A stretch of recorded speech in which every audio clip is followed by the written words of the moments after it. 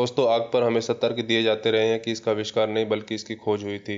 निश्चित रूप से प्रारंभिक मनुष्यों ने आग की घटनाओं को देखा, लेकिन यह पता लगाना बहुत ज़रूरी था कि आग पर कैसे काबू पाया जाए और किस तरह से इसका उपयोग किया जाए। आग पर पहला प्रयोग दो लाख साल पहले हुआ था, लेकिन आंकड़े बताते हैं कि इसका सही उपयोग एक लाख पच्चीस हज़ार साल पहले से होना शुरू हुआ। आग की वजह से आगे के आविष्कार, जैसे गर्मी, लेना, सुरक्षा और खाना पकाने में हमें मदद मिली। खाना पकाने की क्षमता ने सब कुछ बदल दिया। इससे मिलने वाले पोषक तत्वों से दिमाग का विस्तार होने में मदद मिली। मैसोपोटामिया के लोगों ने 3500 ईसा पूर्व के आसपास पहिए का आविष्कार किया था, जिसका उपयोग मिट्टी के बर्तनों के निर्माण में किया जाता था। उसके लगभग 300 साल बाद पहियों को रथ पर रखा गया और उसके बाद तो सब बाकी इतिहास है ही।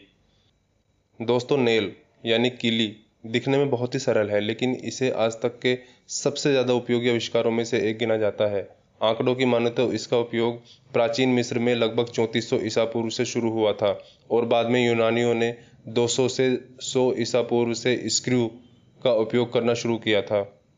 ऑप्टिकल लेंसेज का प्राचीन इतिहास रहा है। प्राचीन मिस्र और मेसोपोटामिया में इसका आविष्कार हुआ था। चश्मों से दूरबीन और सूक्ष्मदर्शी तक ऑप्टिकल लेंस ने हमारे देखने की संभावनाओं का विस्तार किया है। कंपास का आविष्कार 300 से 200 ईसा पूर्व चीन में हुआ था। ये एक नेविगेशनल डिवाइस है, जो कि दिशा बताने के काम में आता है। पेपर का आविष्कार चीन में लगभग 100 ईसा पूर्व किया गया था। गन पाउडर एक रासायनिक विस्फोटक है और नौवीं शताब्दी में चीन में इसका आविष्कार किया गया था। इसके बाद लड़ने का तरीका ही बदल गया था। प्रिंटिंग प्रेस का चौदह में जर्मन के जोहान्स गुटेनबर्ग ने आविष्कार किया था। इस डिवाइस ने कई मायनों में हमारी आधुनिक युग की नींव रखी। इसके ज्ञान और धर्म के प्रसार में क्रांतिकारी बदलाव हुआ था, क्योंकि पहले की किताबें आमतौर पर हाथ से लिखी जाती थी।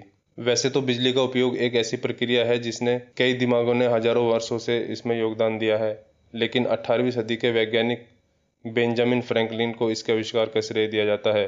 बाद में इसके विस्तार को आगे बढ़ाते हुए अठारह सौ उनासी में थॉम्स एल्वा एडिसन ने बल्ब का आविष्कार किया था। बल्ब का आविष्कार निश्चित रूप से बिजली का उपयोग करने की क्षमता का एक बहुत बड़ा विस्तार है। इसके बाद मनुष्य के जीने का तरीका ही बदल गया। स्टीम इंजन सत्रह सौ बासठ और सत्रह सौ पचहत्तर के बीच जेम्स वाट द्वारा इसका आविष्कार किया गया था। भाप इंजन से संचालित गाड़ियाँ, जहाजों, कारखानों ने एक नए रूप में औद्योगिक क्रांति को जन्म दिया। अठारह सौ उनसठ में एंटनी लेनियोर ने इंटरनल कंबसन इंजन को निर्मित किया और बाद में निकोलस ओटो ने अठारह सौ छिहत्तर में इसमें सुधार किया। यह इंजन रासायनिक ऊर्जा को यांत्रिक ऊर्जा में बदलता है और भाप इंजन को पीछे छोड़ देता है। आधुनिक कारों और विमानों में इसका उपयोग किया जाता है। एलेक्जेंडर ग्राहम बेल को अठारह सौ छिहत्तर में एक बिजली के टेलीफोन के लिए पहला पेटेंट मिला। यद्यपि वह इस तरह की तकनीक पर काम करने वाले एकमात्र व्यक्ति नहीं थे, लेकिन निश्चित रूप से इस उपकरण ने संवाद करने की हमारी क्षमता में क्रांति ला दी थी। वैक्सीनेशन, यानी कि टीकाकरण, का अभ्यास रोगों के उन्मूलन और मानव जीवन काल को फैलाने के लिए जिम्मेदार है। पहले टीका चेचक के लिए सत्रह सौ छियानवे में एडवर्ड जेनर द्वारा विकसित किया गया था। रेबीज वैक्सीन फ्रांसीसी केमिस्ट और जीव विज्ञानी लुइस पास्टर द्वारा अठारह में विकसित किया गया था। अठारह में पहली मोटर कार जर्मन वैज्ञानिक कॉल बेंज ने बनाई। इसमें एक सिलेंडर और तीन हॉर्स पावर का इंजन था। कार के आने से हमारा यात्रा करने का तरीका पूरी तरह से बदल गया। साथ ही साथ हमारे शहरों के डिज़ाइन भी बदल गए। अमेरिकन राइट भाइयों ने 1903 में एयरप्लेन का आविष्कार किया। विमानों से हमने बड़ी दूरी कम समय में तय करने में कामयाबी पाई। 1928 में स्कॉटिक वैज्ञानिक अलेक्जेंडर फ्लेमिंग द्वारा पेंसिलिन की खोज की गई।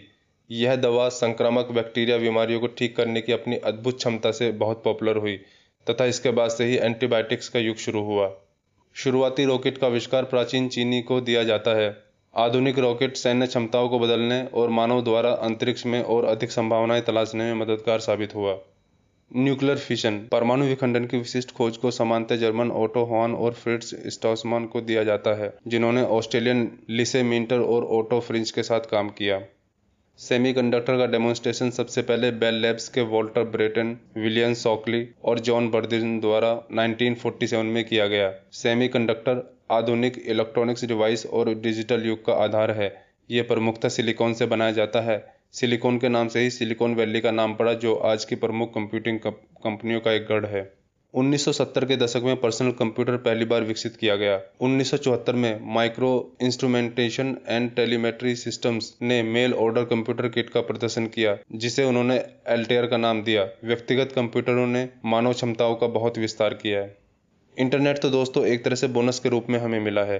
कंप्यूटर्स को एक दूसरे से जोड़ने की ज़रूरत से इसका विकास हुआ। सबसे पहले यूएस डिफेंस डिपार्टमेंट ने आरपा नेट का डेवलप किया। बाद में 1990 में टिम बर्नर ली ने डब्ल्यू को क्रिएट किया।